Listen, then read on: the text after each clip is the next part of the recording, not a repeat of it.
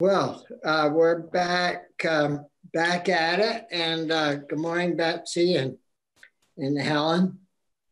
Um, we Senator Pollina will be with us in a matter of moments, and um, I we wanted to talk about um, you know the food situation and and local grown and and all those good things.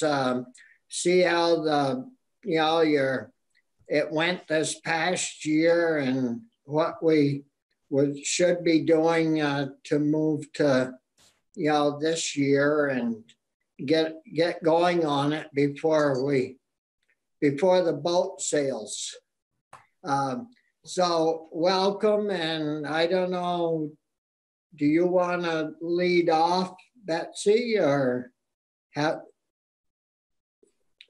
um, sure, I can say a few words and then Rosie Kruger is on so she can um, better give an update on the applications to the local purchasing incentive, um, which the deadline just passed this weekend. So we're really excited. I would say that the Agency of Education received 30 applications, which means over half the SUs applied already just in this first opening round. So we were really pleased about that level of interest. Um, we're also uh, super excited that the governor in his budget has funded the AOE position for administering the program and the local purchasing incentive at the amount we feel is correct, which is 500,000 it's still one-time funding. And I think for schools to be able to change their systems and change their purchasing, they're gonna wanna count on um, more funding than one-time funding, not knowing whether that's gonna continue or not.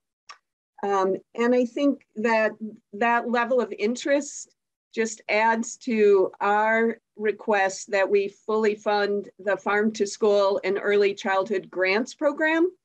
So to be able to provide the kind of support to schools, especially the ones that haven't applied yet, you know, making sure that they can set up systems, they know which products will be eligible, where to connect and buy them, follow the rules for procurement, you know, all that stuff. In yeah. all the states like Oregon and Michigan and New York, the schools successful have a lot of technical assistance and support in those early years until things get going. Um, and at this point, we looked at the grants program, the Farm to School and Early Childhood Grants. And in FY21, only about 24% of the funds that were requested uh, were able to be awarded. So, you know, there's a lot of demand out there uh, that we're not meeting.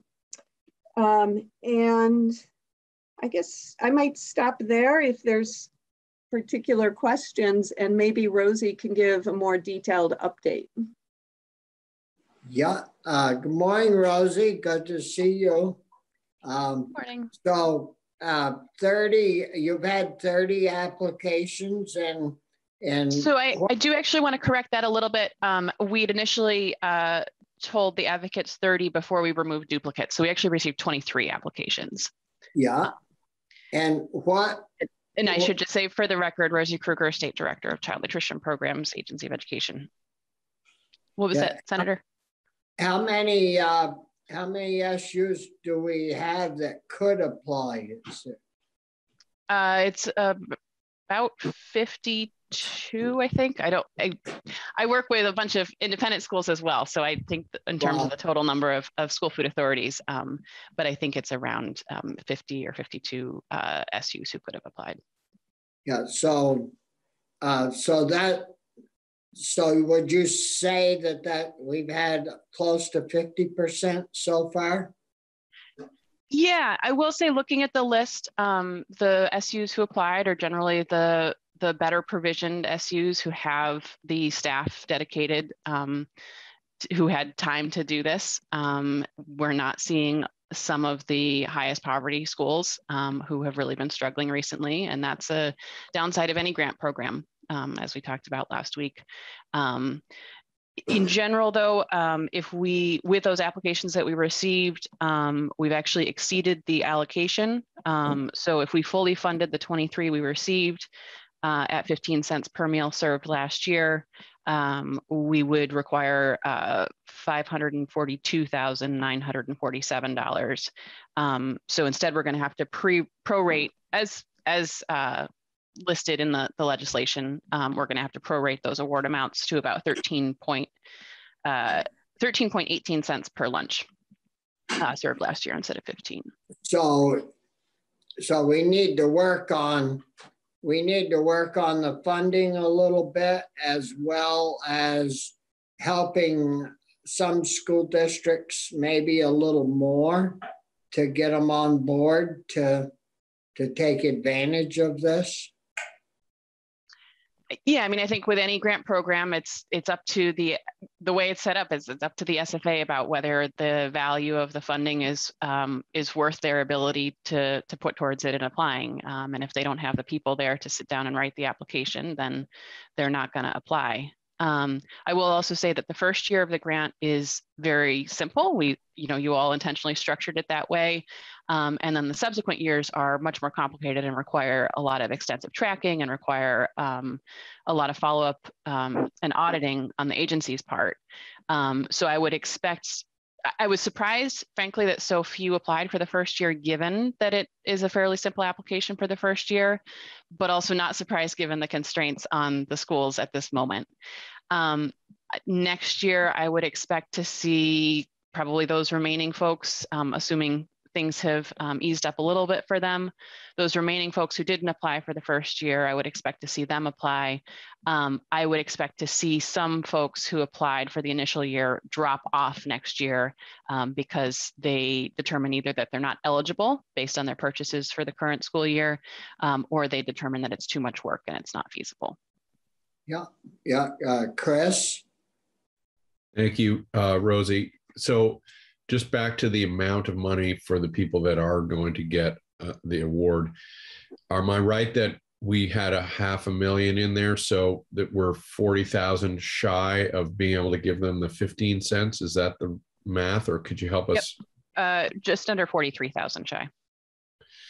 Because I, I think if we want to, you know, from where I sit, I'd like this to be robust and permanent, but that's not the way the legislature works. Uh, and so we we sort of inch forward as much as possible, but we're starting. You know, clearly there's dem- demand there, uh, but as you say, this is the easy year, and people will be making this calculation in an ongoing way.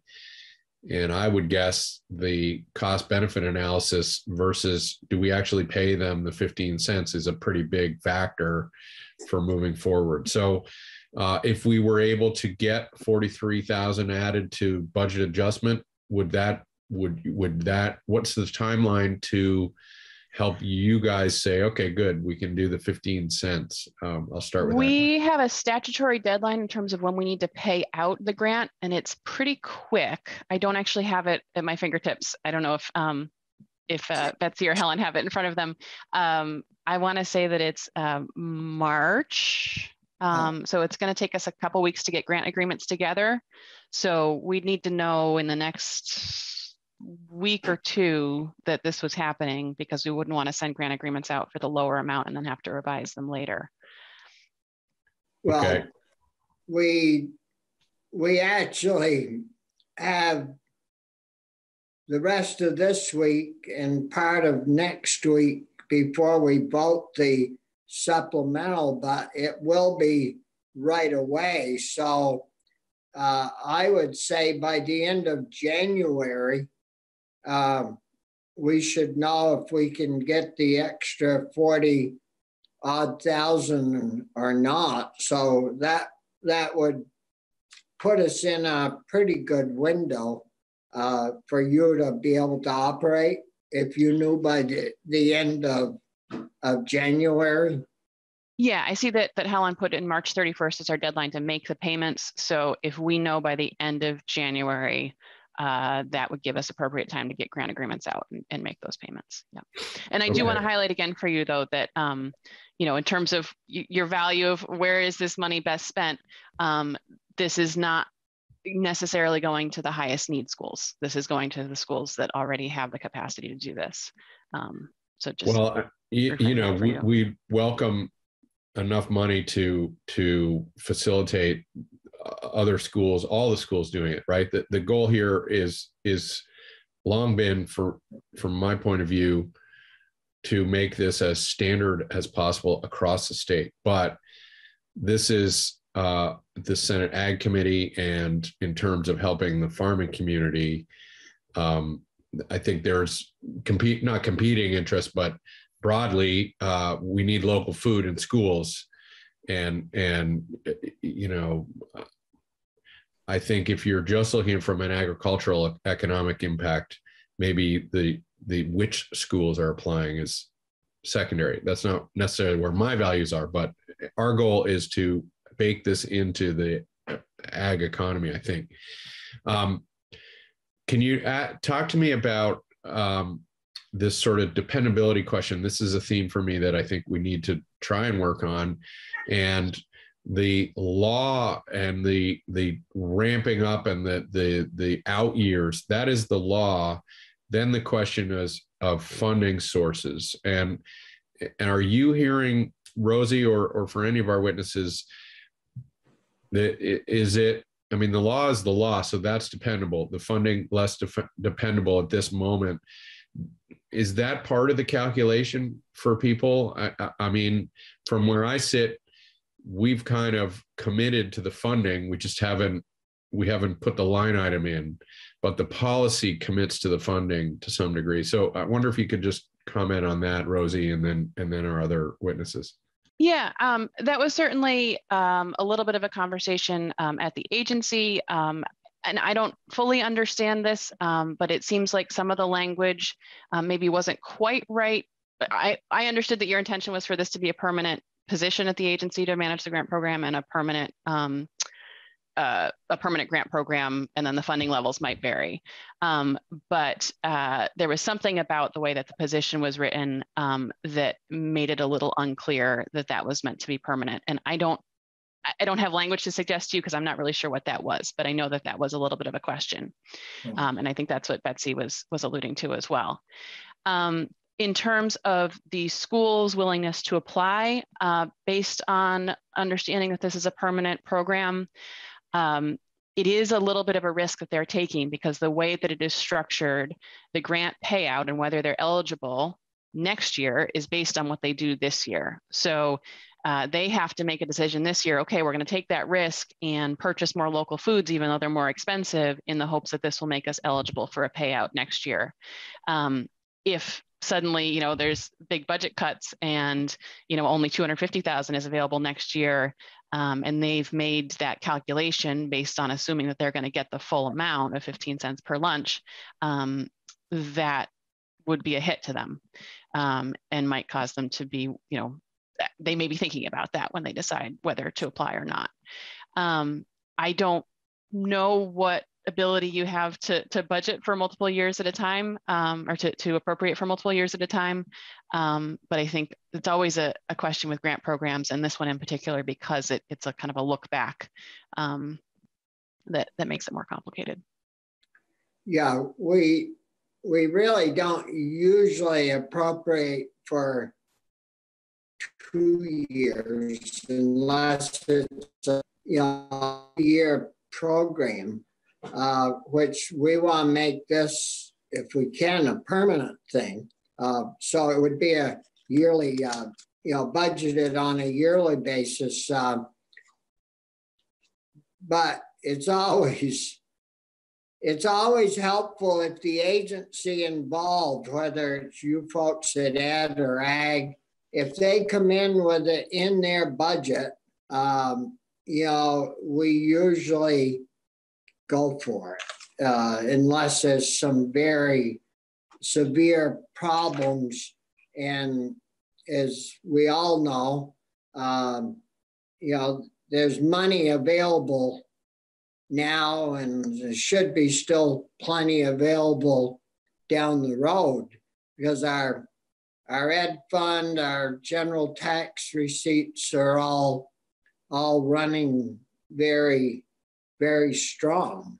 Uh, none of us know what will happen once all the federal money gets used up and gone, but we're everything we're working on is longevity, so it should keep people working, uh, keep taxes coming in, and but you know who's got the crystal ball? None of us. So, um, but to get you know to pick up that extra forty-three thousand, um, you know, is it shouldn't. We should be able to get that for you. So. Um, I don't know what the other members think, but uh, we got finance represented here and and government ops and and uh, so there should be there should be 43,000 available somewhere. Uh, Chris? Well, I, I would just say, you know, we're giving grants of 43,000 to single businesses this is yeah. this is really trying to to help a, a, segment of our ag economy and, and, so shame on us if we can't come up with that money. I, I, I think i hope we will plan for success and and um, see if we you know uh, try everything we can to really lock this in for the years ahead. And and uh, it's just such a no-brainer. I can't the logistics is hard. Rosie, you've schooled me and all of us in how complex it is and, and how much the feds tie your hands and all of that. And there's good people working on this, but um, it's just far too sensible. And, and when I think about the, the grant, the money we're granting to businesses across the board, uh, you know, th- this is almost an embarrassingly small sum, frankly. Um, but anyways, we'll keep moving forward with that.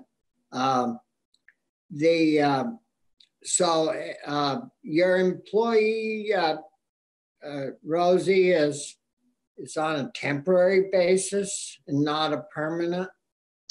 Um, no, no. The the position is a permanent position um, and was created that way um, I think that was your intention and it's written as a permanent position, but there was something about how that was funded um, that was just, the language wasn't quite right uh, to say that this is um, intended to be funded permanently. And I don't really, this is not my side of things. Um, so I don't fully understand what the language is, um, but the agency could probably work with Ledge Council to figure out what that issue was um, and, and get you some uh, updated language there.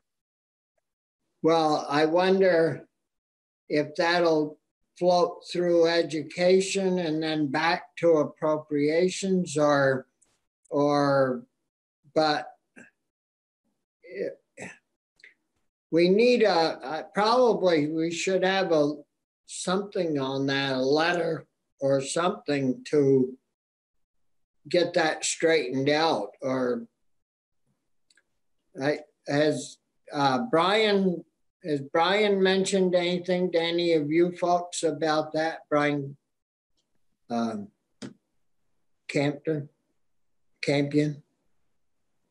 Have you talked with him in regards to that, Rosie, in education or? No, um, this is a fairly recent thing that's come up. So I, um, you know, we hired the position. It's it's uh, hired as a permanent position, but I think there was some question about funding. Um, it is in the governor's request for this year um, to be funded for this year, but I think the agency was maybe thinking we needed a little bit of a change to make sure that that was an ongoing um, funding thing. So and that, I don't know what that, that change is. I'm sorry. That will probably then come up when we have um, uh, the secretary in in front of I hope, in front of appropriations that that needs, uh, that language needs to be adjusted.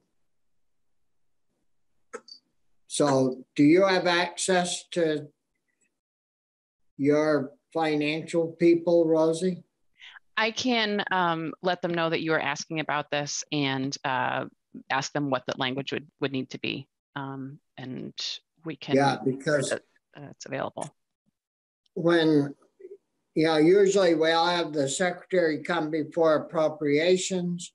Uh, he'll say, well, we need this tweaked or that tweaked to make it all work. And, and then we just do it. Um, but it'd be good if you could mention that to your superiors and then they'll maybe look at it and tend to it. I can do that. Um, okay. Um, other questions uh, for Rosie or Rosie? Do you have other?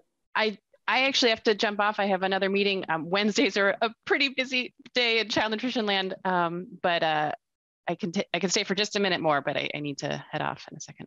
Yeah. Anything else for Rosie from any of the members? If not, thanks, Rosie, for being with us and all you do over there. We appreciate it. Great. Take care. Um, so, uh, Betsy, did we want to move to Helen to have, would you want to tell us, Helen, how things went with, with uh, NOFA and how that's all working out? This program's all working out for you folks. Yeah, sure. Thank you, Senator. Um, good morning, everyone. For the record, um, Helen Rortvedt, the Farm School Program Director at NOFA Vermont, which is a farm school partnership with Shelburne Farms. Um, and we at, um, at NOFA have had the privilege this fall of working with um, schools and SFAs to apply for this inaugural round of funding. Um, we did outreach to all 50 some odd of the um, of the supervisory unions and school districts that would be eligible to apply um, and got a pretty great response overall. We're really pleased to see that you know 23 um, actually ended up submitting an application. Uh, we had a number of really great conversations with folks who are very excited about this program, but intentionally decided not to apply this year for a couple of reasons you know, running the gamut from we just don't have the bandwidth this year because of everything else going on being a, a really sort of significant reason, which is perfectly understandable. And given the really tight timeline of this year's program, um, I think it was just hard for people to add one more thing at that time, at that busy time of year during a very busy year. Um, there was also a number of schools who have been sort of thinking about the um, the longer term um, plan and their strategy with interacting with this program and recognizing that there is in your first year that easier threshold to clear some schools have sort of started doing the math and looking down um, looking down the um, the pike a little bit and realizing that you know what we could apply for the grant this year and we could get the pilot year funding because it is relatively easy, but we're concerned because it's over halfway through this current school year that we won't get to 15 next year. And so then we would have a gap in our eligibility. So they're thinking, you know what, let's take this year, get our systems in place, get our ducks in a row, and we'll put in our pilot year application next year, assuming the program is funded. And then they'll be in a better and stronger position to achieve 15% the year after that. So I think that that's a calculation that a number of um, SFAs are um, are thinking through. And that's a, um, I think, a phenomenon we can expect to see. I also do want to, um, to lift up and point out um, what Rosie mentioned that there will likely be some schools who did apply this year and maybe they don't quite hit 15% for next year. So we may see a small drop in the number of schools that are eligible moving forward. But the the likelihood you know they're not dropping to 0% they might come in at 13 14% something close and but they're showing that they're they're going to have progress towards that goal and i've talked with a number of schools that might be in a position like that and they're comfortable they understand that it might mean one year of not being eligible for the grant but then it's just a real small hurdle for them to clear to get um, to become eligible for a subsequent year so I think that there's um, there's a lot of enthusiasm for this program. People really appreciate it. It is exciting. Um, it's something that has rallied school nutrition programs um, in in an otherwise kind of really stressful um, time. And I do really appreciate all of the agency's efforts to streamline the application process and make it truly as simple as possible. It really it we we have a template of the application that we've posted on the Vermont Feed website to, to show schools and to show business offices exactly how easy it is. So really want to appreciate that. Um, so any, any questions that are coming up? Well, I'm um, glad to hear you had how many turnout when you were doing your your uh, fall uh, meetings? So we we individually called and emailed all 50 some odd school districts and supervisory unions and you know not everyone had bandwidth to, to connect with us but quite a lot. I'd have to check we have a, a, a spreadsheet of notes for everyone that we've reached out to but it was it was well over half of them that we um, had specific conversations with. So I'm looking forward to seeing the report from, from Agency of Education when they have time to compile it to see who the actual applicants were and square that with our notes of who we had conversations with um, to see who ultimately applied and who's maybe thinking about um, applying next year uh, and they held off. So. Yeah. Uh, questions from committee members? Any questions? Uh, um, uh, Chris?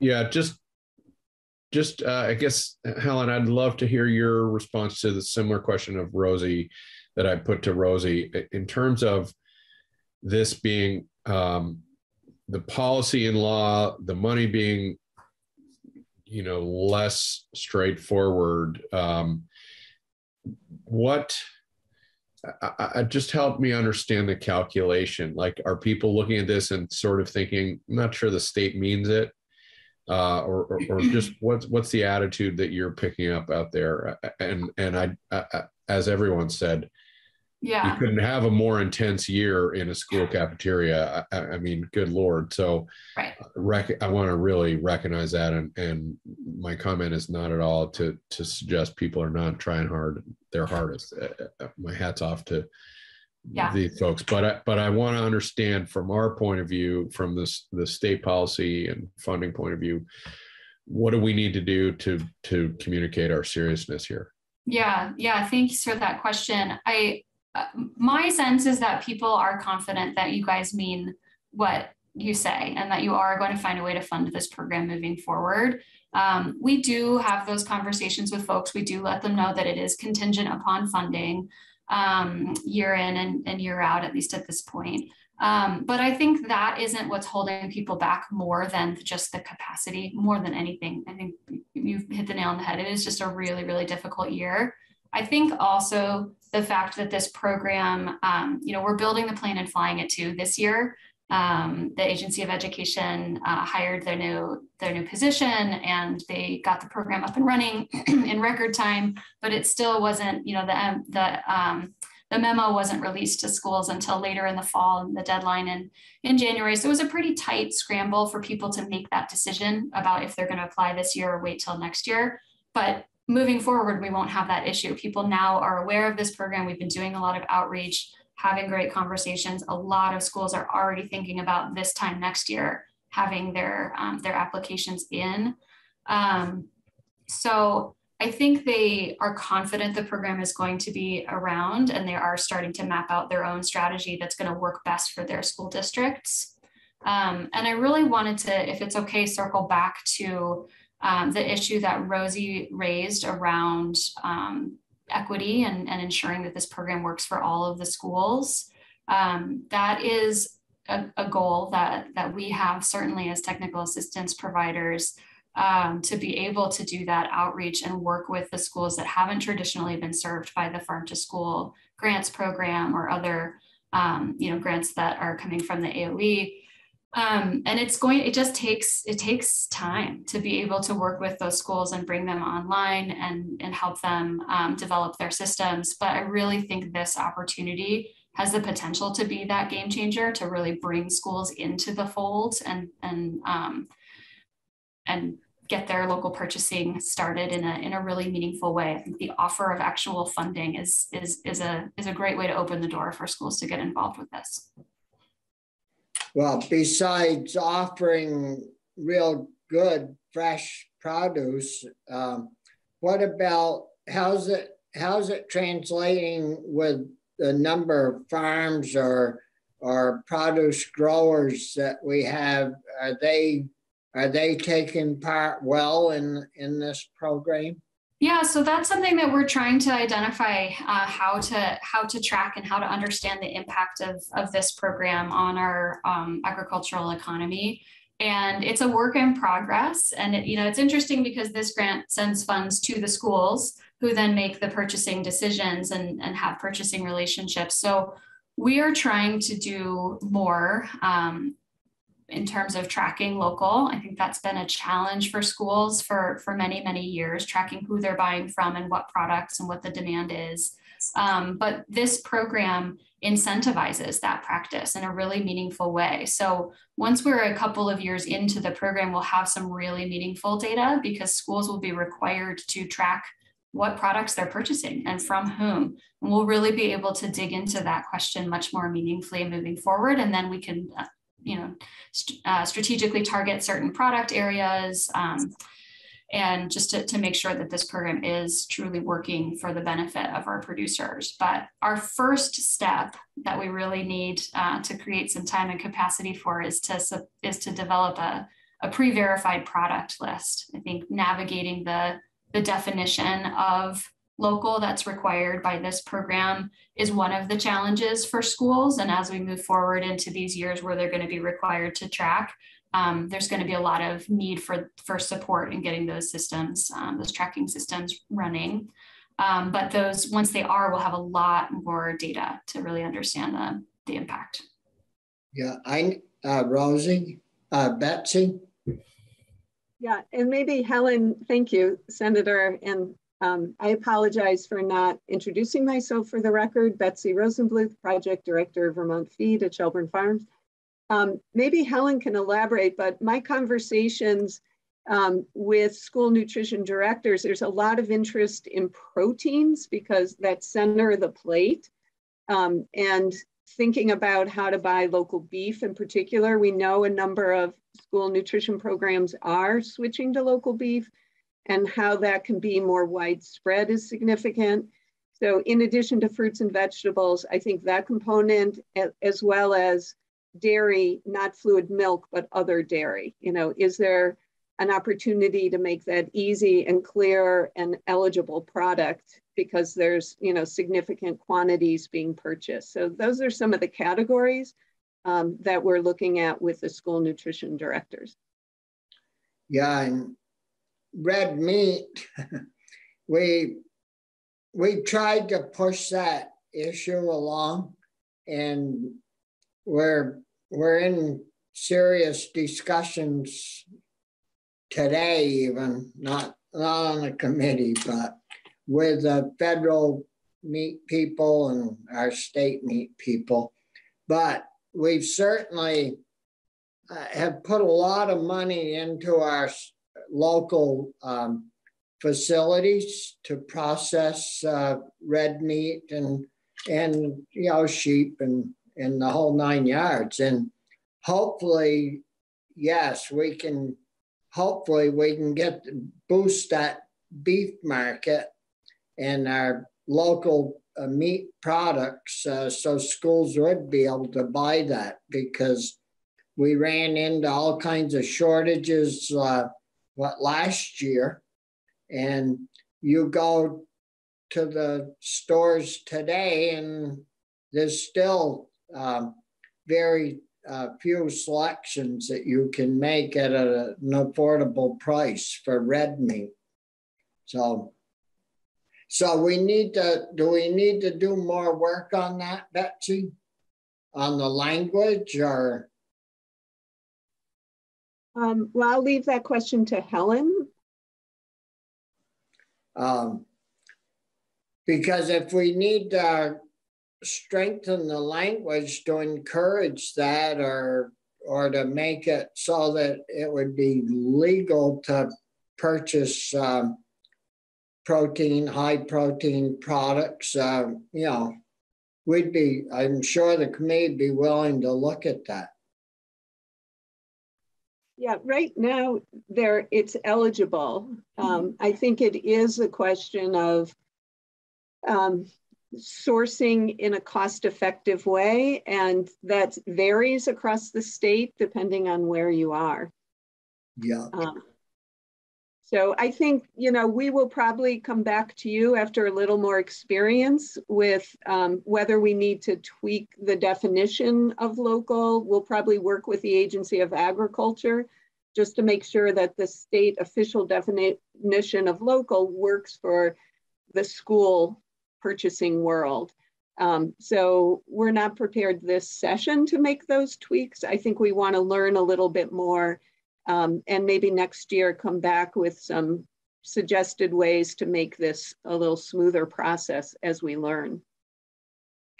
Yeah, I know um, uh, the food hub uh, or the place in Hardwick was going to set up, um, I thought, a distribution uh, system so they would have like a, a steady route uh, of delivering out of northern Vermont anyhow.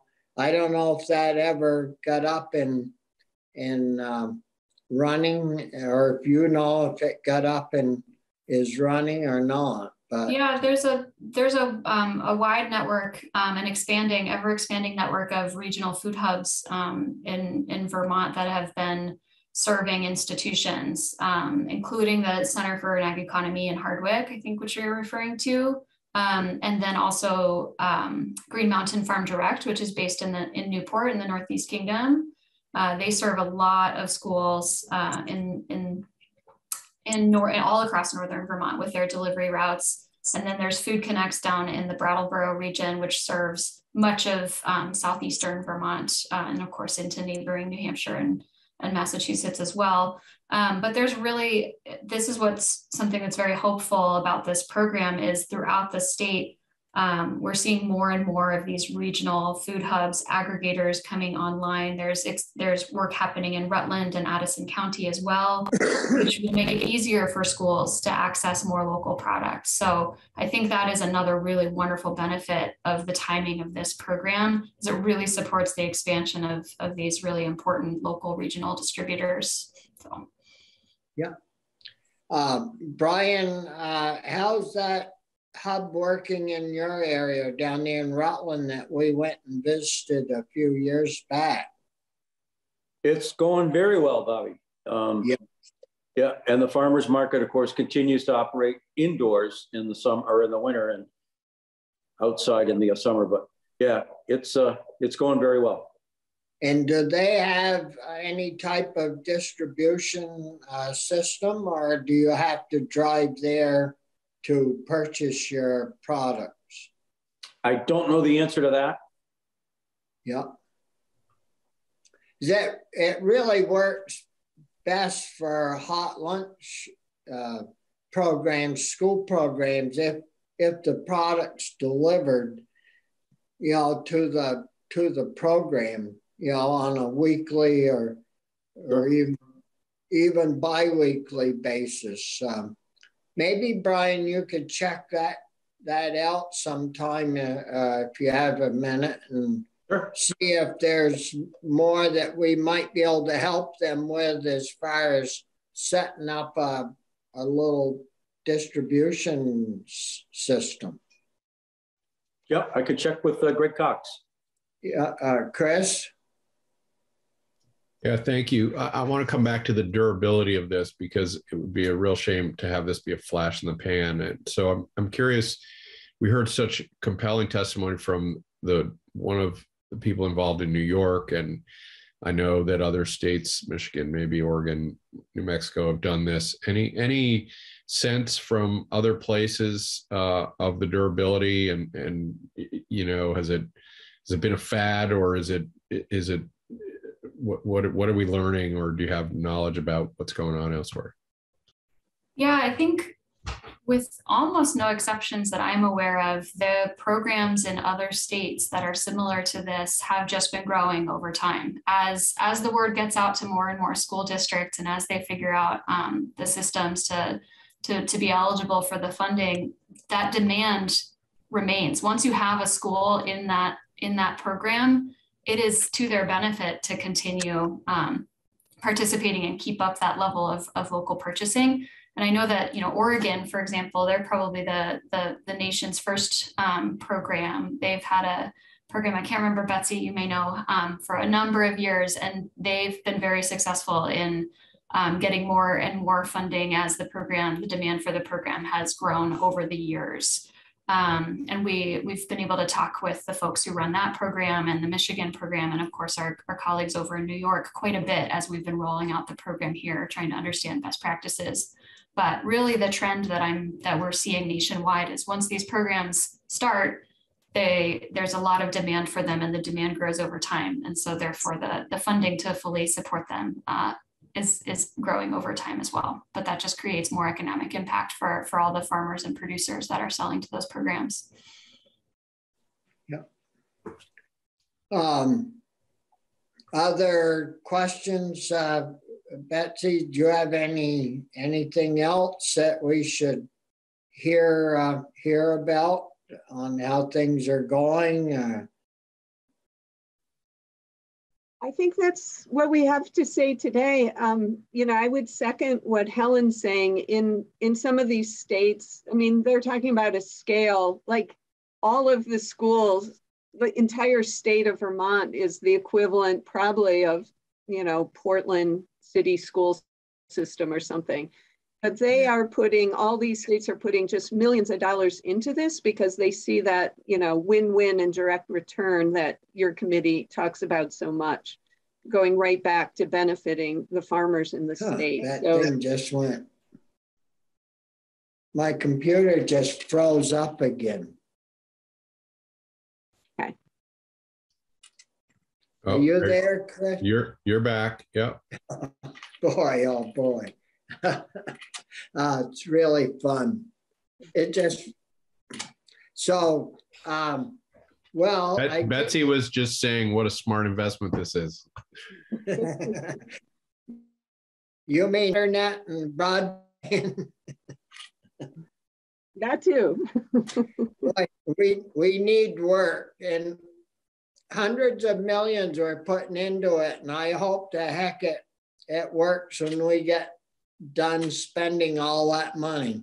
Um, well, yeah, we we really want to support, and we do as as much as as we know how uh, to support our our feeding our children, feeding our people with locally produced food, and um, um, hopefully it'll it'll mushroom and and uh, spread, and we'll uh, we'll change that 24% to a positive, uh, really, you know, a good positive number.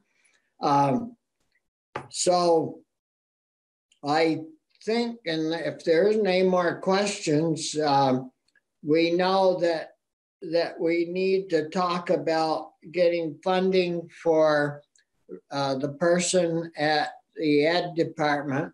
Uh, so, uh, and then we need to raise the the money to pay school districts so we can keep that at the 15 cent level. Uh, the only what we've got to do is get someone. We as a committee have got to get uh, some of our staff to draft that up so we can hand it to the appropriations committee um, or present it to them in a formal uh, way. Uh, anything else from questions by any of the members? Uh, if not, uh, thanks a lot, uh, Betsy and, and Helen, and uh, we'll um, we'll let you go and get back with it. And uh, uh, Chris? Well, Mr. Chair, question for you and for others, the committee. Um, I wonder if we should talk to Senator Sirotkin and the folks on economic development. I mean, it just it's so frustrating that this isn't a no-brainer in their in their mindset and you know my god if anyone wanted to cut a few million out of VEPC in a year, the the earth would shake and and the business community would come and tell you how how valuable that all those resources are and And here we're talking about a tiny amount of money for a whole swath of our rural economy. And so I, I, guess I'd just like us to think about strategies that bakes this in in a, in a more permanent, ongoing way, so that we don't have to hope that we can pull it out every session. And um, well, yeah, that's doesn't make any sense that we spend time every year. Um, uh, but yeah, when you're starting something brand new, and and I think you know we've done we've done fairly well uh, from an ag committee to economic development. Uh, that that crew uh, in the next room, uh, we don't. If we were in the building, I think it'd be much easier to accomplish, um, you know, running next door and chatting with them. But um, well, if you don't mind, I'll explore that and see if that's something that yeah. they'd consider or if they have any advice for us. No, that's where all the money is, uh, really. So that that would be good, Chris. Um, and um, so with that, uh, thanks a lot, uh, both again to Betsy and Helen, and uh, um, keep up the good work. Thanks so much for having us today. Yeah, yeah. thank you for your support. Well, we enjoy working with you as well. Um, well, committee, um, we have Ellen uh, Killer with us uh, this morning, um, and we're going to stick with New England, feeding New England, and talking about food and all those good things. Uh, so, uh, good morning, Ellen, and welcome. Thank you so much for having me. Lovely to see you all. Happy New Year. Hope you're staying COVID free. Oh, nice and comfortable here. and, Excellent. and pretty safe at home. Yeah. Um, so, uh, Mr. Chair, what would you like me to focus on? I do have some slides that I uh, that I sent to Linda that I'm happy to walk us through, or if you have a different pleasure, I'm happy to entertain. Uh, well, no, we don't have any particular uh, process, uh, you know, in line. Uh, however, you feel comfortable uh, presenting uh, the slides to us. that I think Linda made you co-host, so you can present the slides at your pleasure. Okay. And then we'll get through that. And then if there are questions, we'll move on to those. All right. That sounds terrific. Um, so for the record, Ellen Kahler, Vermont Sustainable Jobs Fund, and uh, the Vermont Sustainable Jobs Fund, as you well know, administers the Vermont Farm to Plate program. Thank you very much for continued support and all that. Um, and then um, as part of that work over the last at least 10 years, 10 years, um, I have been having conversations and meeting with our counterparts in the other five New England states.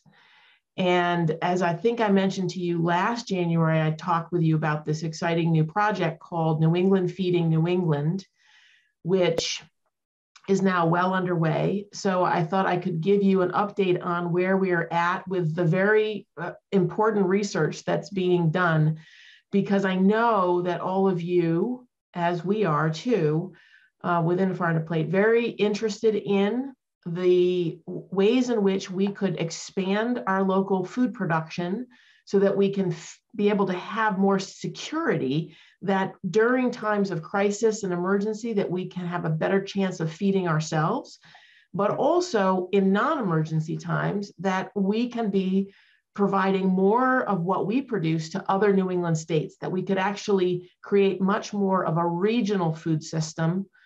And the other five New England states are also considering similar things, but as is usual, we are the pace setters. We are uh, very much more out in front in terms of the level of coordination and collaboration and, and and impact on the ground that we've been achieving over these last 10 years.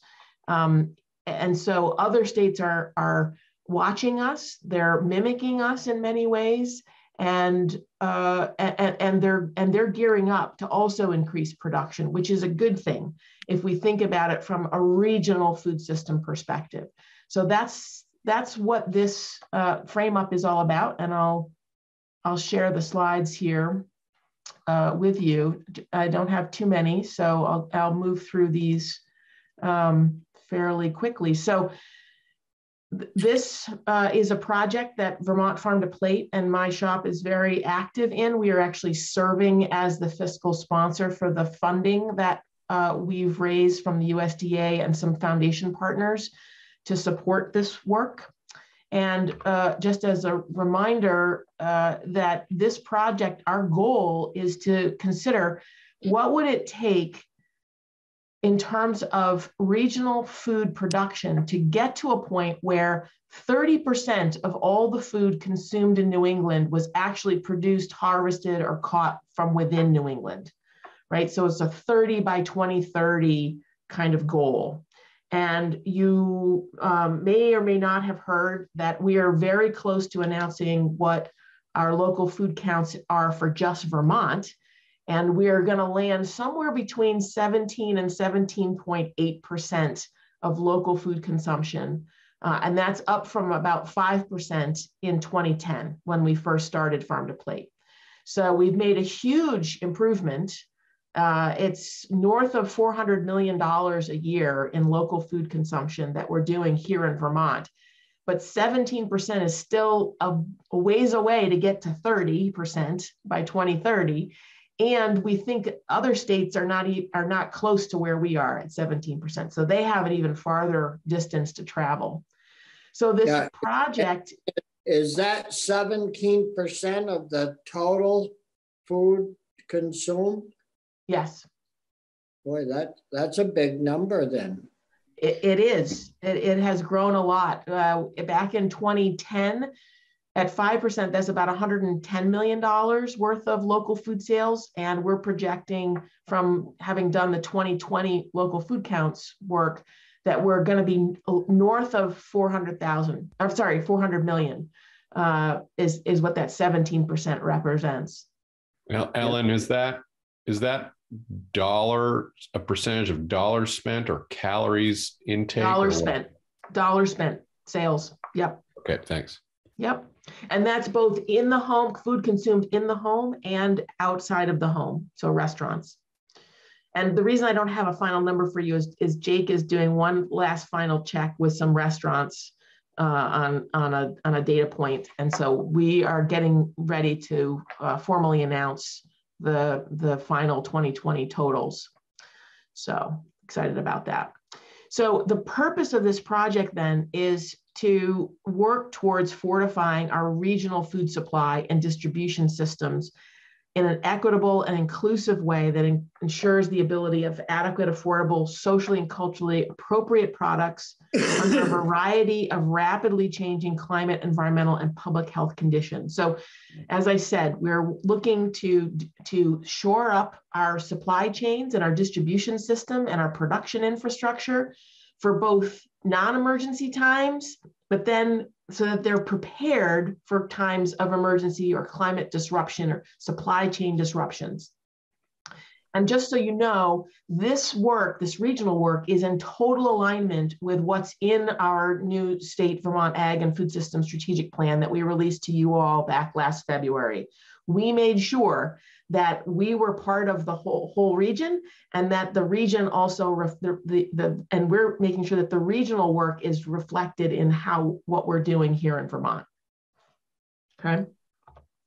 So what we're doing right now is uh, working on some very relevant and timely foundational research and analysis to, that will be provided to each state and that can be then rolled up into the six state region uh, and then that research, we think, uh, so by this time next year, you will have some, some additional uh, materials to work with to be able to think about strategic additional strategic investments uh, in the public and uh, private nonprofit sector and, and also to guide philanthropic uh, investments, but really looking at those investment decisions about where we need additional infrastructure, where we need a, additional systems in place to really capitalize on this regional food system opportunity. It will not be a formal plan, though. That's important. Like what you know of as the farm to plate plan, it will not look like that. This is really the foundational research that will help us to understand what's actually possible to produce in the region. What types of food products, what, what, what different food categories, and then within each state, within the region as a whole, and, and how uh, will that food get distributed in terms of different market channels? So that's a, a big part of what we're focused on right now is this foundational research. And we're also strengthening our relationships with state ag commissioners across the six states and with funders across the six states um, and all the nonprofit organizations and trade associations that are, that are engaged in this work. So we've built a 14 member research team uh, across the uh, five different research areas across the six states. Uh, and again, this research is to inform then the strategy development and investment and policy recommendations that would support increasing food consumption to 30% by 2030. Uh, and this is a very, uh, as you'll see in a minute, a very uh, interesting and multi-layered research project. I have to say, I've, I have never coordinated something quite as complex as what I'm doing right now. Um, so we have, there are three main teams of researchers, and I won't spend any real time on this. You can read it in the slides, but to know that there, there's, there's three uh, multi-researchers in a team for the dietary needs, uh, called dietary needs team. And I'll explain a little bit more about what they're working on. Then we have a market demand team of a number of researchers. Again, these are people from across the region that have different domain expertise. And then we have a production team also, and they are looking at uh, what we can actually produce within each of the six states. Um, and then we have some additional analysis that's coming th that is happening. So looking, just like we have in Vermont every year, we tell you what our how many jobs and how many businesses exist in the food system. We've just done that for the other five states. So we now understand what the total amount is for the whole region. We're also uh, looking at food flows. I, I, think you may recall I showed you some slides last year of this of the United States that had a lot of like spaghetti lines all over the place that showed the, the, the way in which food flows just from a distribution perspective across the country. And we just got some updated numbers, um, data that will allow us to look at a 10 year time span. And, and what we want to understand in that is how much of, of the food that is being produced in New England is traded within New England amongst ourselves, and then how much is exported and how much additional food is imported into the region. So we have a better sense of what are we really looking at in terms of import substitution, right? Because ultimately, to get to 30%, there's two ways to do it. We get to 30% by producing more and keeping more of what we produce in the region. And then of what we already produce, keeping more of that within the region. Right? So that we're doing import substitution, meaning we're, we're importing less of what we eat and exporting less of what we eat to the rest of the country. Right? We keep it within the region as much as possible. Well, and it it would be good, Alan, it, when you're doing that, uh, is yeah, that there's all kinds of talk about vehicles polluting the atmosphere.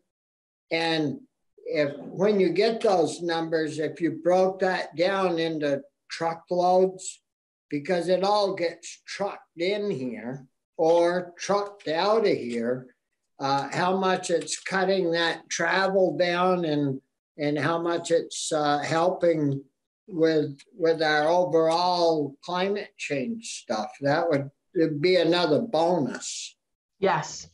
Yeah, we're very interested in that too, because what we don't want to have happen, we know that agricultural, some agricultural practices contribute a lot to greenhouse gas emissions.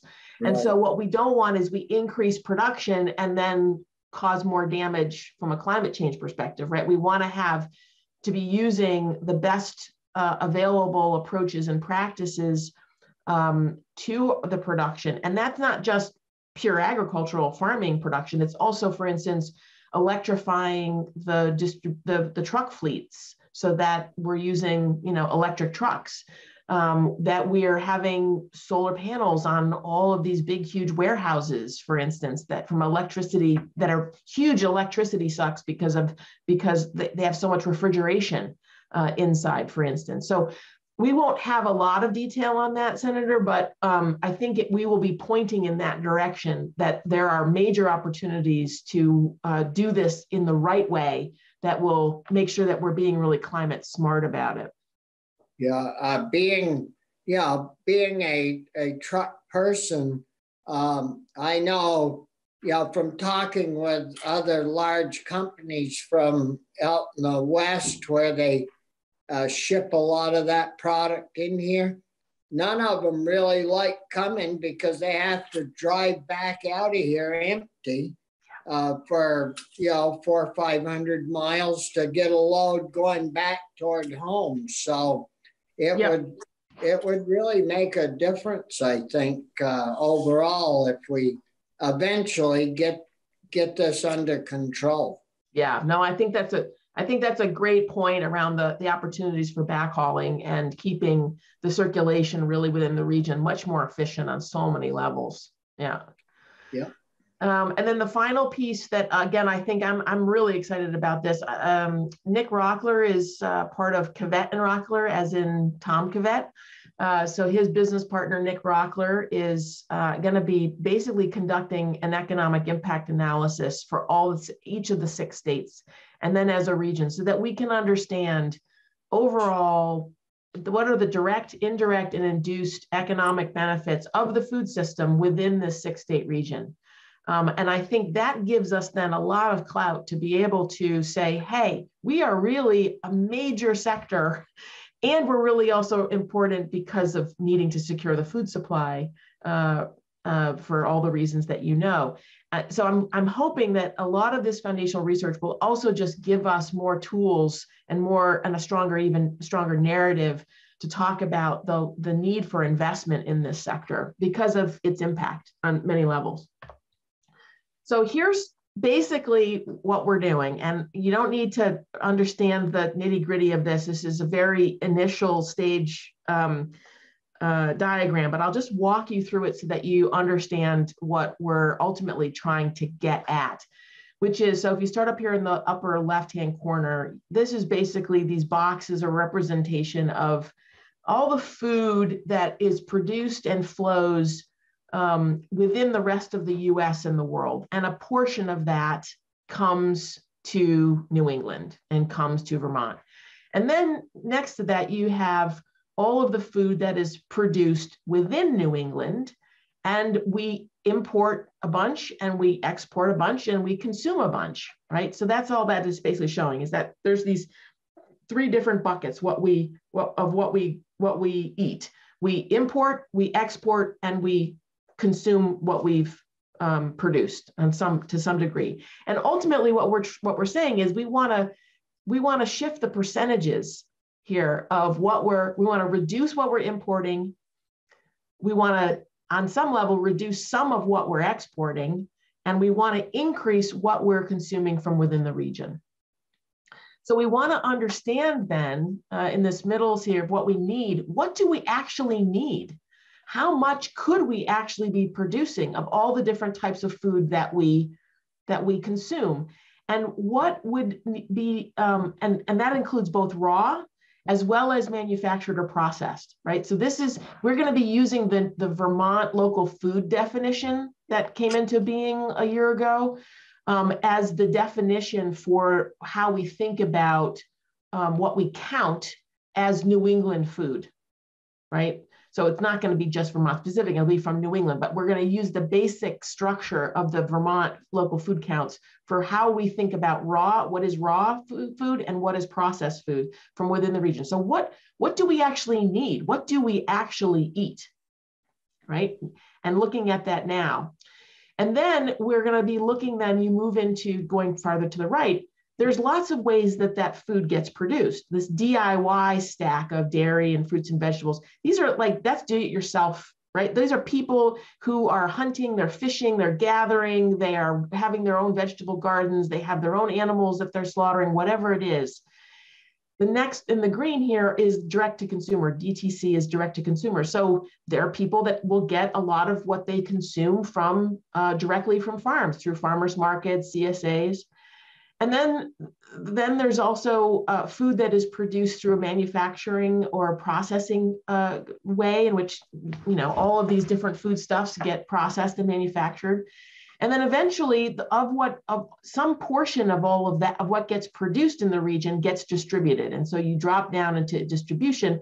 And this is just simply to say, and a bunch of that gets distributed. It gets then sold through through various uh, channels. So we're going to be trying to understand through the IMPLAN model, then what is the overall economic impact of all of that activity? And then we're going to be looking at um, sort of the, the market demand. Well, like, okay, we produce all this stuff, but what do people actually want? What, what is, what are the, what are the different, um, uh, the level of market demand for this uh, food and, and the population projections over the, between now and 2030? Well, how many of us do we, do we need to actually feed? And so how we're going to try to understand uh, what we, what we actually need is, is by updating the New England Food Vision, there are, there are two different diets, right? So you think about, if you think about this circles, these two circles here as kind of like a plate. And each one of these wedges is a different type of food that might get produced within the region. So what are we actually consuming, the types of food by food category, are we actually eating as a region now, both at, at the individual state level which we'll have, and then as a region, you know, how many pounds of potatoes, how many pounds of melons, how many pounds of of of, of very different different types of dairy products, how many pounds of meat of different types of meat. And then we're going to take a look at well, what's a preferred diet as another option, right? There's you could think about getting to 2030 by saying, okay, we're just going to go steady with population projections, and we're going to eat exactly today as how we're going to eat exactly uh, in 2030 the way that we've we're eating today, right? So what does that supply curve look like? And then we're saying, okay, well, what if we were more regionally resilient, we were more climate friendly, and we ate in a more healthy way based on what, say, USDA MyPlate actually says we should be eating? What would that look like? And how how and how much would need to be produced uh, if we were to eat that way by 2030?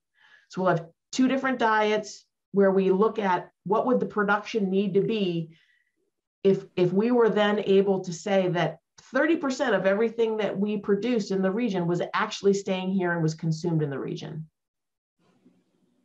Follow me with me? So then, you know, and part of this is we have to look at it from the different influences on people, their age, their income, where they live, their race, ethnicity, what markets are available to them across the region, the kind of preferred market. You know, some people really only want to do farmers markets and CSAs. Others only want to go to grocery stores or only want to go to big box retailers. So we have to account for all of that. And then uh, finally, we get to then how does it actually move from the production, the supply stage, through the distribution channels to the end markets, to the end consumer. And that's where we want to break it down by like, okay, well, how much of what we produce could flow through institutions like hospitals and colleges and schools? How much could flow? How much is going to need to flow through grocery stores? How much is going to flow through restaurants? How many are going to flow through food pantries? We've never calculated how much local food is a potential to flow through, say, our food banks. So ultimately getting at this 30 by 30 um, what would it really what would it really look like what what what's possible not the how we would get there but just what is possible does that make sense you with me? Well i would think we need to know all these things to make it all work that's for for certain. Right. So, um, so as I mentioned, we're going to be doing this these two different plates of business as usual, and then an aspirational healthier diet. So, um, uh, we'll we'll get to uh, the number of acres that are required to produce this food, and then also what are we thinking about in terms of the pounds? So, like the pounds of potatoes, the pounds of beef, in order by food category, in order to get to this um, 30% uh, red, uh, level. We are also going to, at the very end, attempt to back into what would it actually cost for a household to eat in this regionally healthier oriented way because that's sort of like the holy grail right is to like okay if if the only people that can eat this way are the wealthy then it's a it's a non-starter right? So that, because then if we know what it costs to really eat this way, because we know that production costs in the New England are higher than other parts of the country, then that gives you all more tools to figure out, well, how do we actually go about supporting producers so that ultimately the food that they're producing can in fact feed everybody regardless of income so that well, you know and and the slaughter facilities, the processing facilities. Uh, you know, do they want their products fresh? Do they certain percentage frozen? Yeah. Uh, so we need some quick freeze uh, operations. Uh, there's there's a lot, and then a distribution system. So there's a lot to putting together a whole kind of different feeding uh, program. Exactly, because we might say, well, we think we could actually get to 30% of our meat consumption needs for the region. But guess what?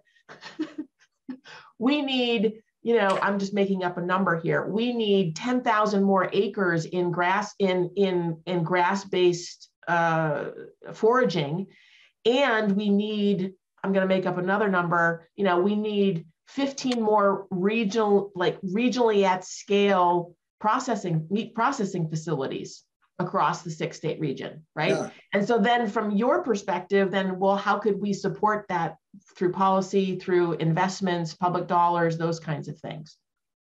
Well, and of course, we know that Maine is is known for, or has been, anyways, for their potatoes, and and Massachusetts they do blue, um, is that cranberries and things like that. Uh, yeah. You know, uh, so by working with all the states, you can kind of zero in on certain production product, you know, products that we can all produce yeah. and not be competing with each other. Yeah, that's exactly exactly right. Um, because we all have different soils, you know, and things that we can grow, and then we have different sized farms in terms of what we can grow. We have different levels of of manufacturing capacity and all that stuff. So, um, so the the production team, this is what they're gonna they're currently working on right now is is finalizing their the basically how it is they're going to take all the different data sets and crunch the numbers to get at these uh, food category production numbers that we're looking for.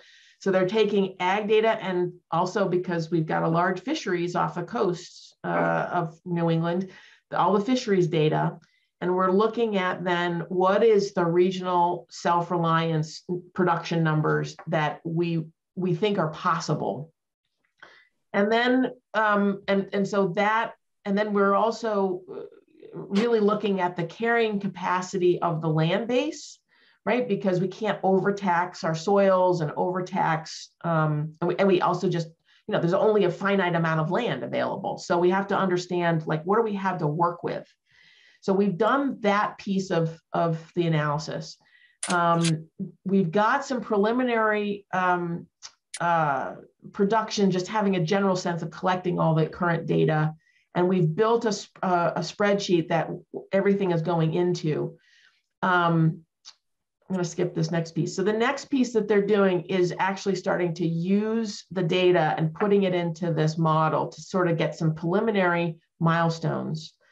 Um, and then, whoops, and then uh, we're going to do some stakeholder uh, input sessions. We're, we're going to be in February, March, uh, having meetings with producers, food, different types of food producers ac across six New England states so that we could say, okay, this is what we think we can do.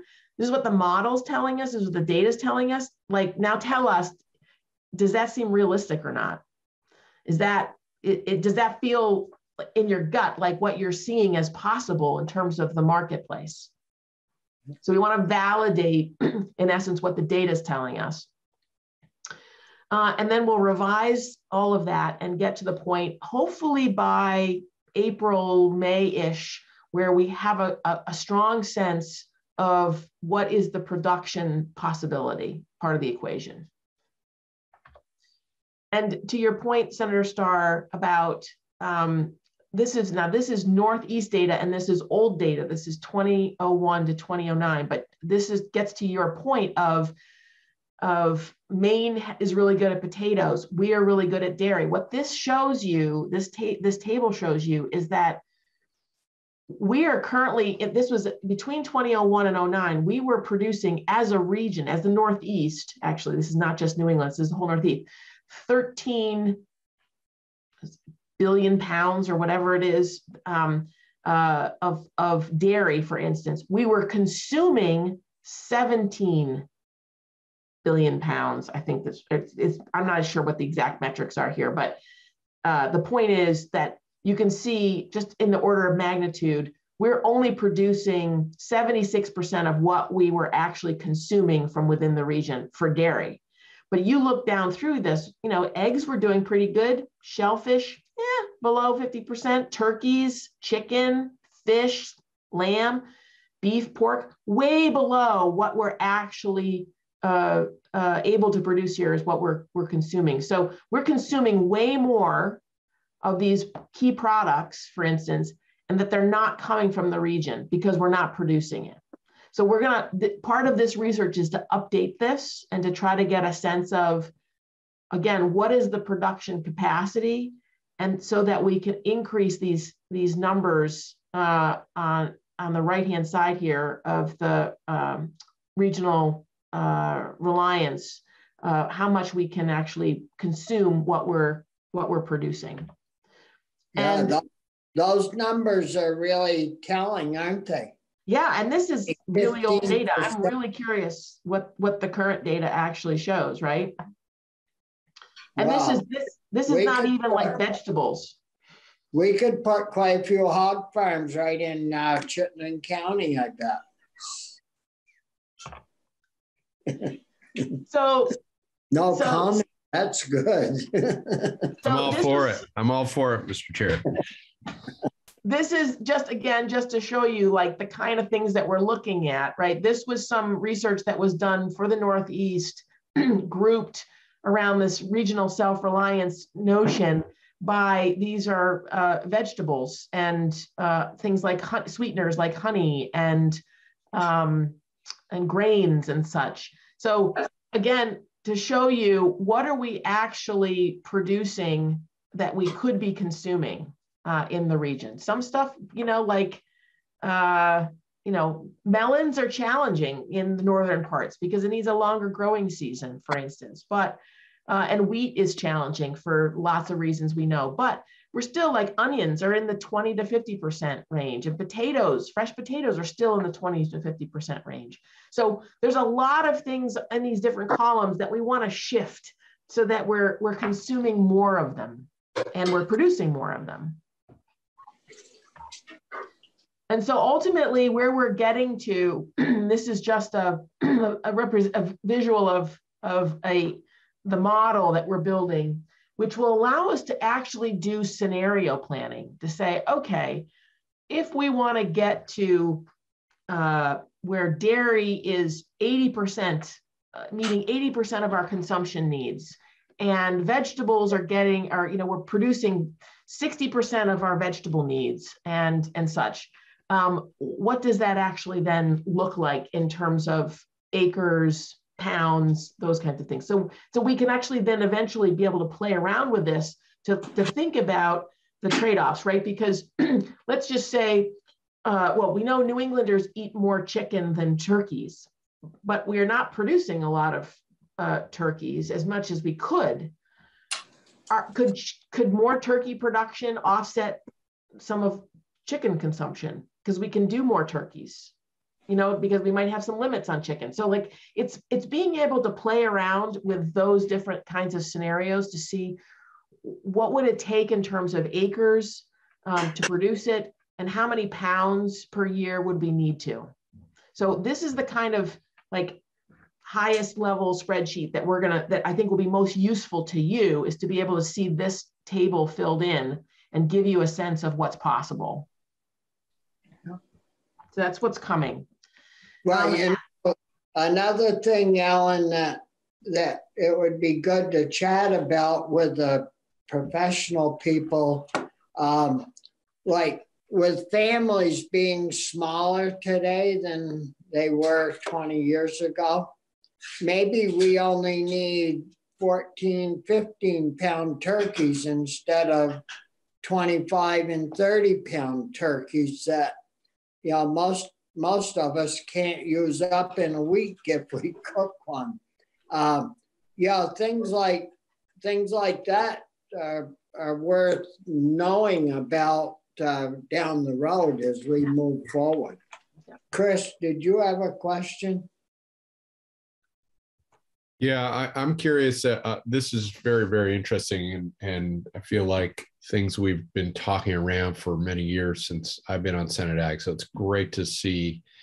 Um, I, I, I kind of remember talking about it in just broad strokes and and the look on your face of you have no idea how complicated it is. Well, now I have a better idea of how complicated it is.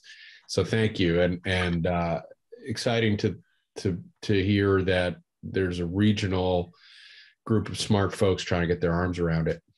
Uh, I'm curious if you've factored in, or if it, there's so many variables, but there's a federal angle here um, when we think about costs, and, and the chair mentioned trucking. Uh, is anybody wondering? I mean, that there will come a time when we will no longer tolerate tomatoes coming from California, at least without some price point impact, because shipping costs are kind of ignored in in prices. I, I mean, crudely speaking, but and people and, are people are really looking at that.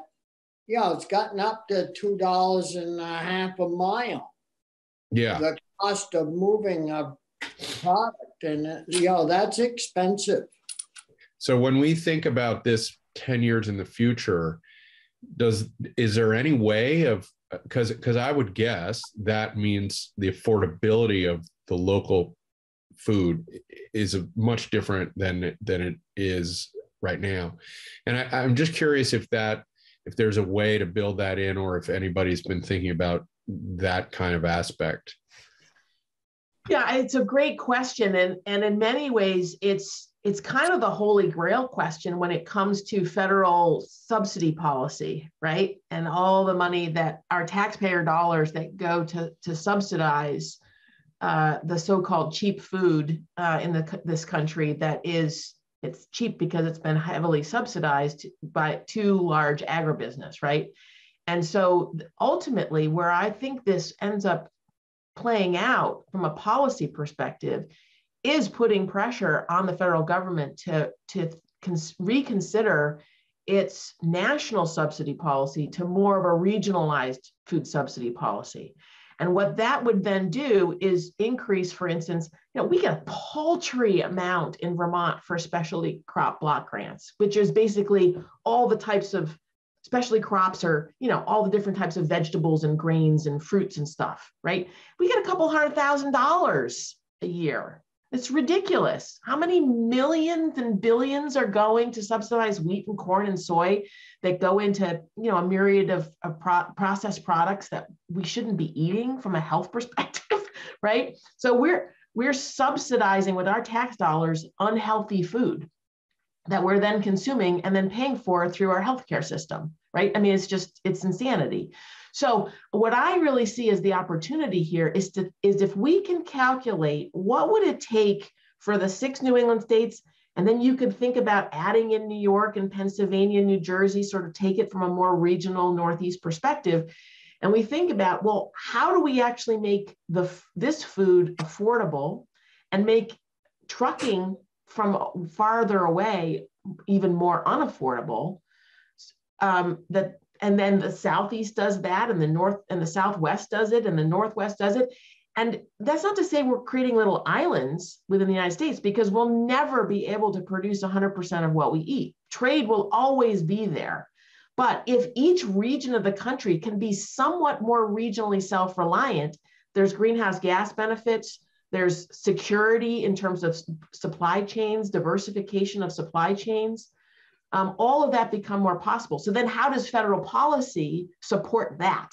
I think is ultimately where we need to head, right?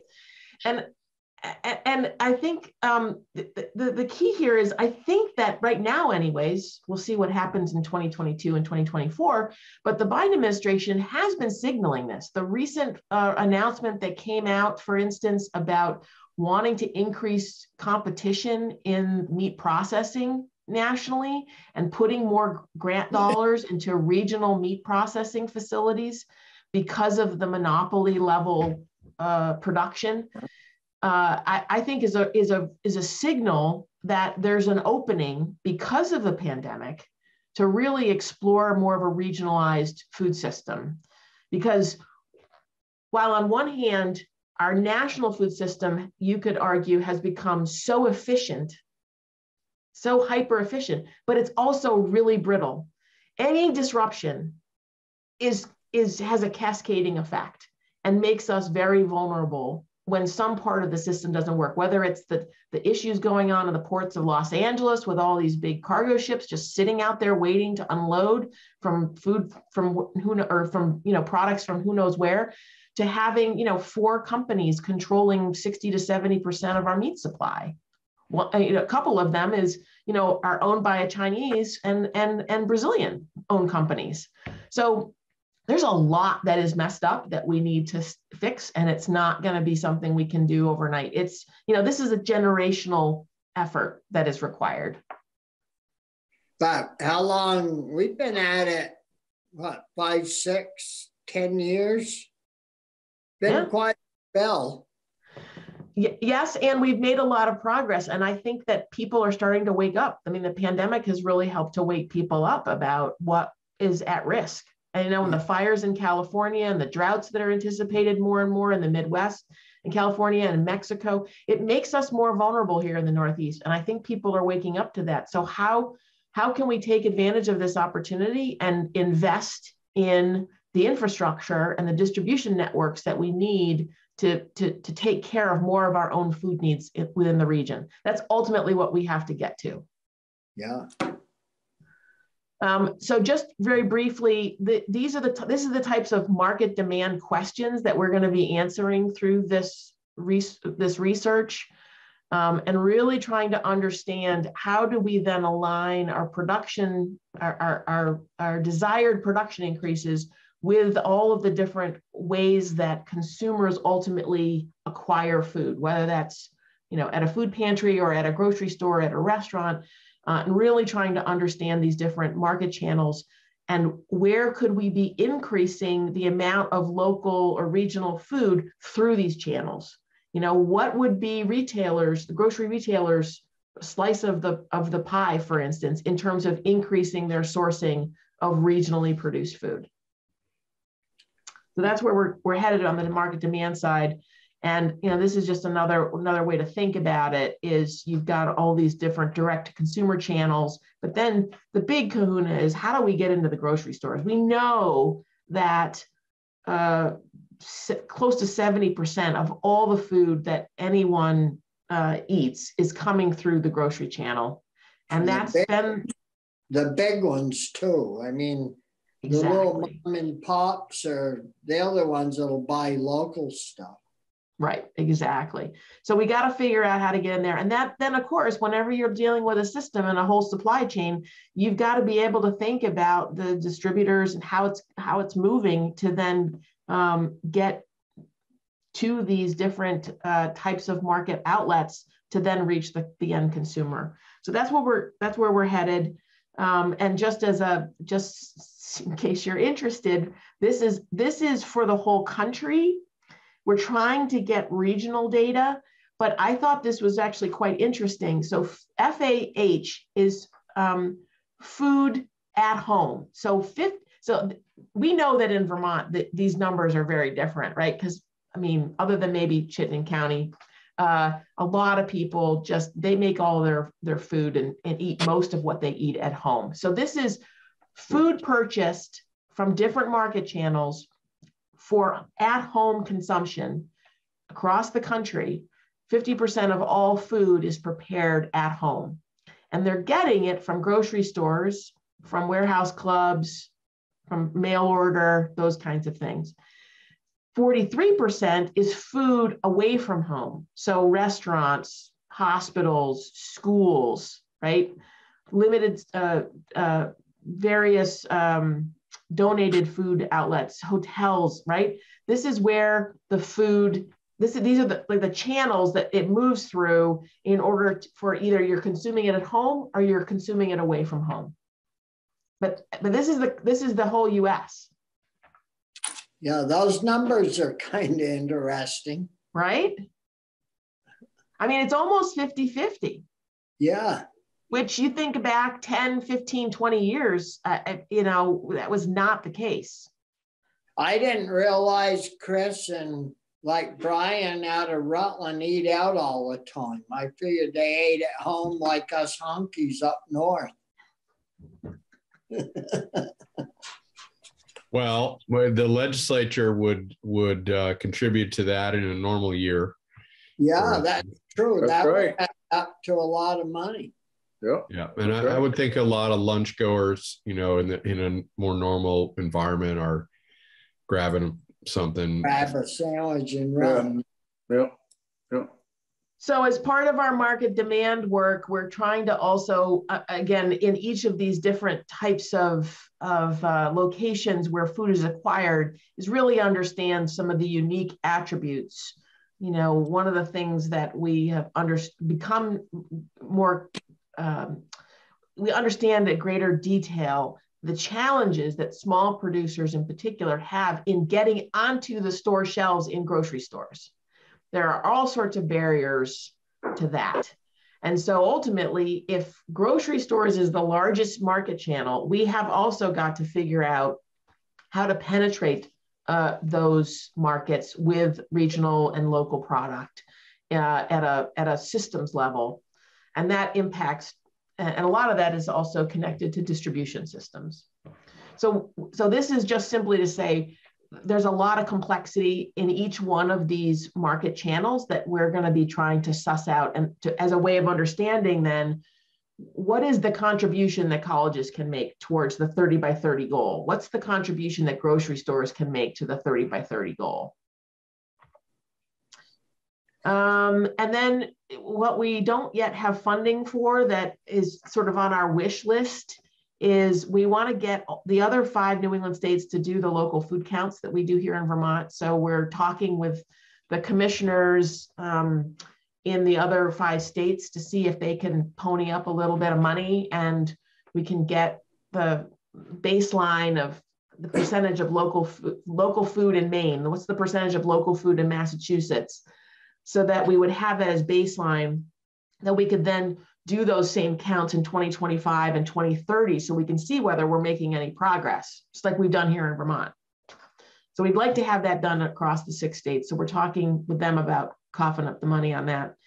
Um, and then we would really like to be able to do some kind of uh, infrastructure inventory uh, by uh, market channel type um, and, and particularly around key processing like cold storage, meat processing, distribution infrastructure, warehouses, to just get a sense of like how much do we have in the region and where is it located?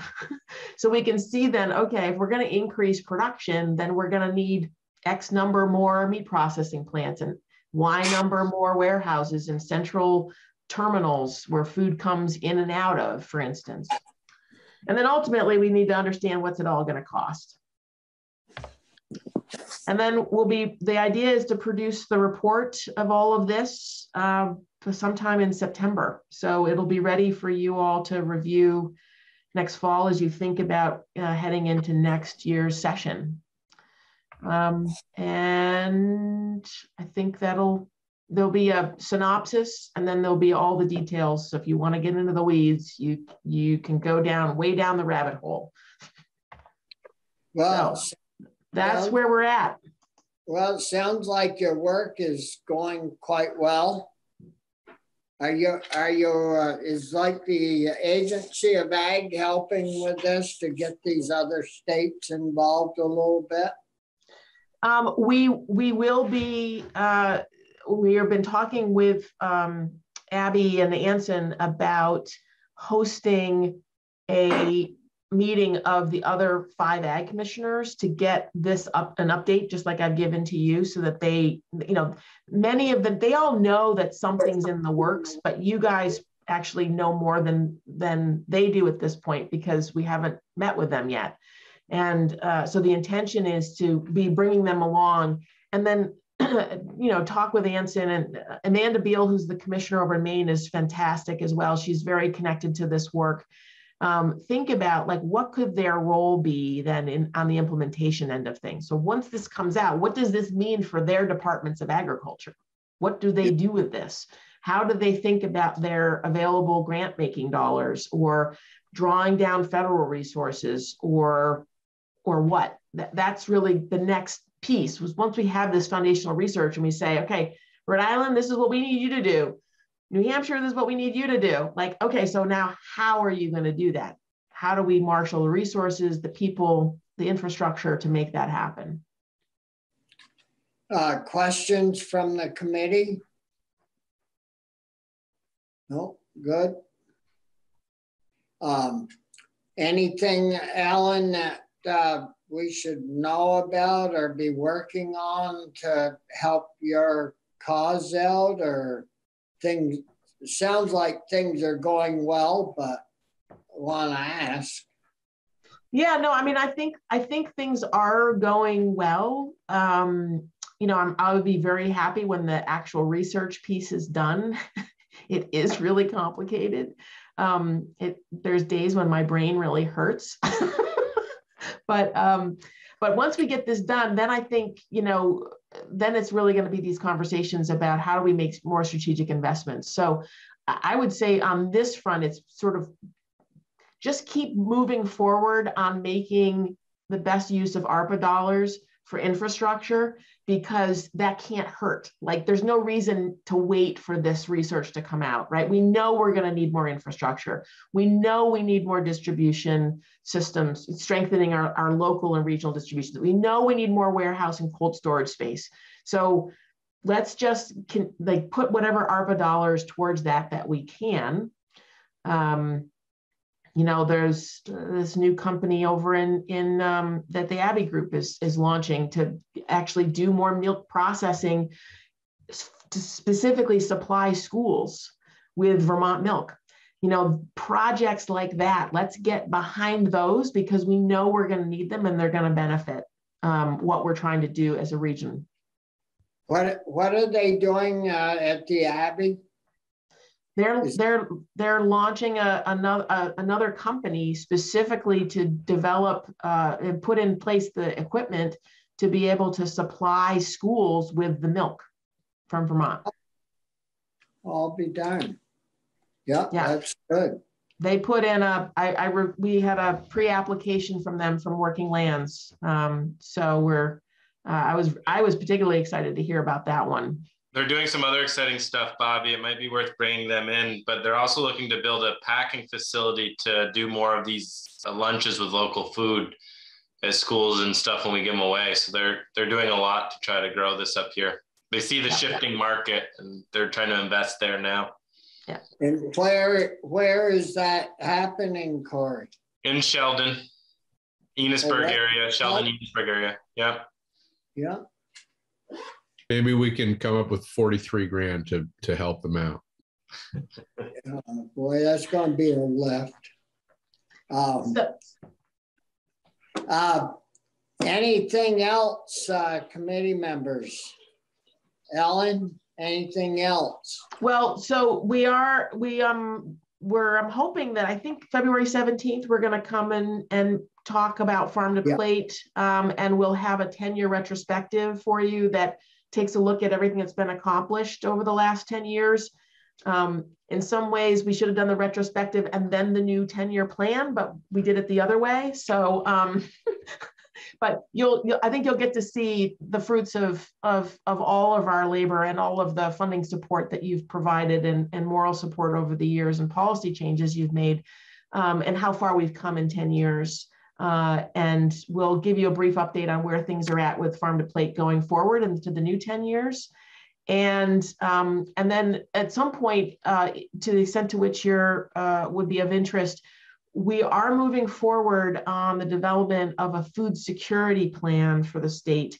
This was one of the priority strategies in the new in the new plan, and it's specifically about and it really complements this New England work because it's really about how does Vermont improve non-emergency time with more local food getting to Vermonters, and then during emergency times, how are we making sure that we're sourcing as much local food as possible?